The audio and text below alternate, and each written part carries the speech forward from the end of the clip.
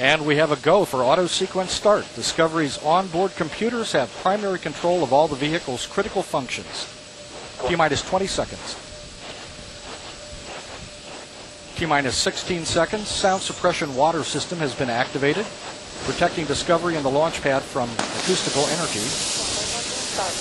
We have a go for main engine start. T minus five, four, three, two, one.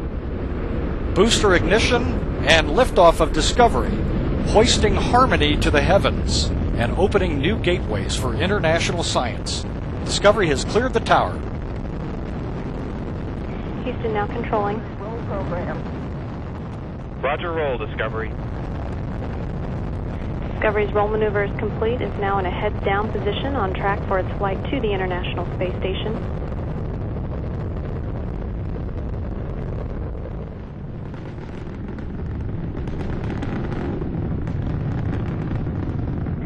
Discovery 7 miles downrange at an altitude of 2 statute miles. Flying at 600 miles per hour. Discovery's engines are throttling down as the orbiter passes through the area of maximum pressure on the vehicle. Now 50 seconds into the flight.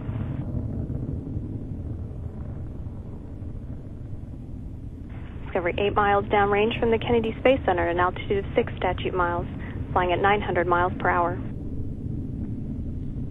Discovery Houston, go at throttle up. Copy. Go with throttle up. The three engines on board are throttling back up. At liftoff, the fully fueled shuttle boosters and external tank weighed 4.5 million pounds. The total thrust at launch was 6,425,000 pounds. Discovery now 13 miles downrange at an altitude of 13 statute miles, flying at 1,700 miles per hour. All systems continue to function well. Three good main engines, three good power generating fuel cells, and three good auxiliary power units for the hydraulic system. Discovery now 24 miles downrange at an altitude 23 statute miles, flying at 2,700 miles per hour. 1 minute 58 seconds into the flight, standing by for burnout and separation of the solid rocket boosters. Combined, the twin boosters provide 5.3 million pounds of thrust to propel the orbiter towards space. Booster officer here in Mission Control confirming the booster separation.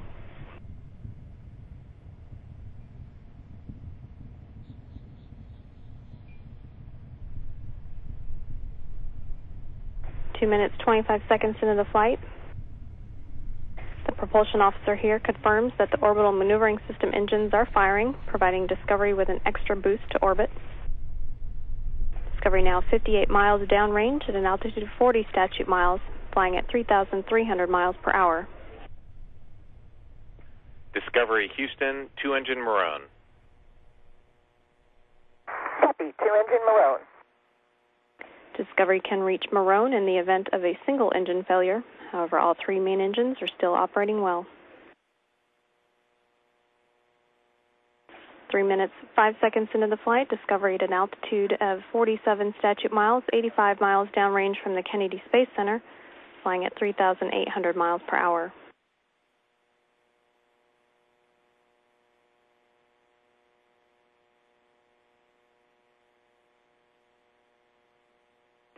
All continuing to go smoothly on Discovery's climb to orbit, on track for its link up with the International Space Station Thursday morning.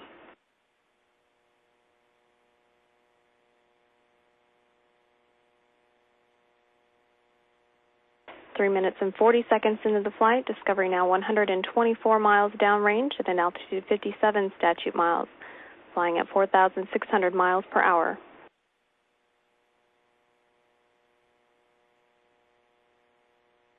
Discovery Houston, negative return. Copy. Negative return. Discovery is now flying too high and too fast to return to the Kennedy Space Center and the shuttle landing facility in the event of an engine failure. However, all three main engines still continuing to function well. Discovery at an altitude of 62 statute miles, flying 172 miles downrange from the Kennedy Space Center at 5,400 miles per hour.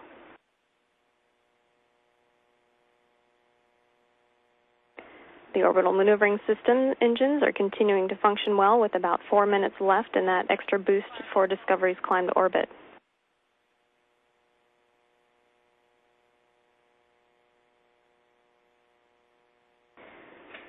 Now, four minutes and 45 seconds into the flight, the environmental systems officer confirms that the flash evaporator system has been activated to provide cooling before the payload bay doors are opened in orbit.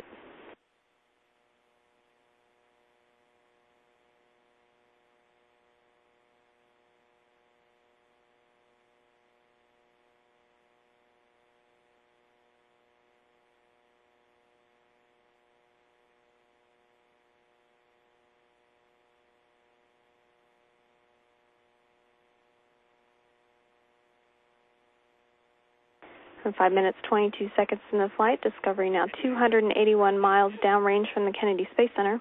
Discovery Houston, press to ATO, select Istres.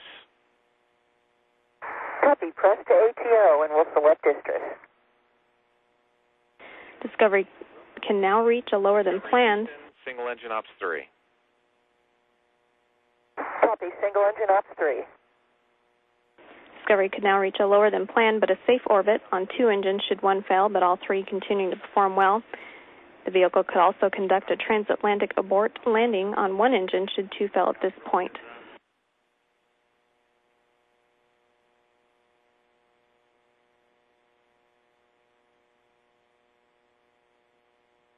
Six minutes and ten seconds into the flight, Discovery's engines have been commanded to swivel. Single engine Istres 104. Your shutdown plan is nominal. Your go for the plus X. Go for the pitch.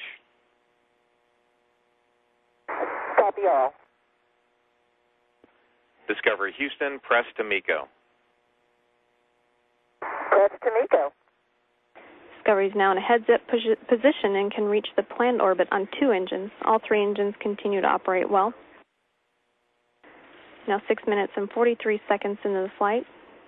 Discovery an altitude of 66 miles, flying at 10,700 miles per hour.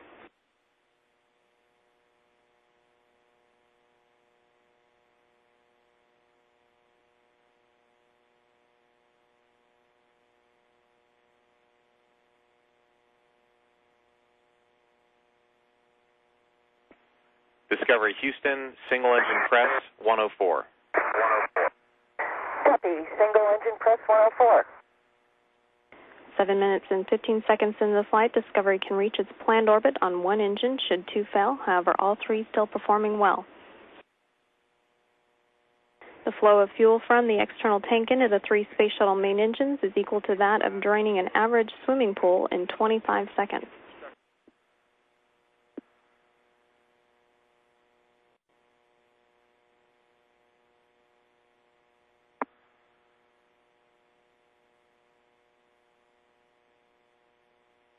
Discovery's engines are now throttling back to maintain structural limits on the orbiter as it approaches loads near three times gravity. Now 7 minutes 57 seconds into the flight.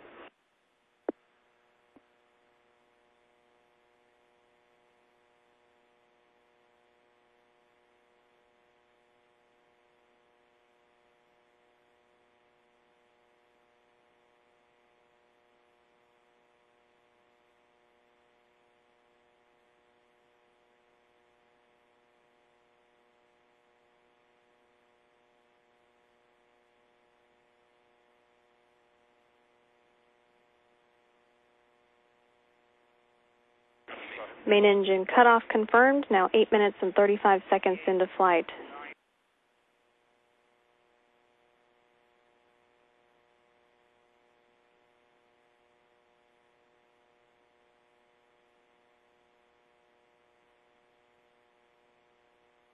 External tank separation is also confirmed.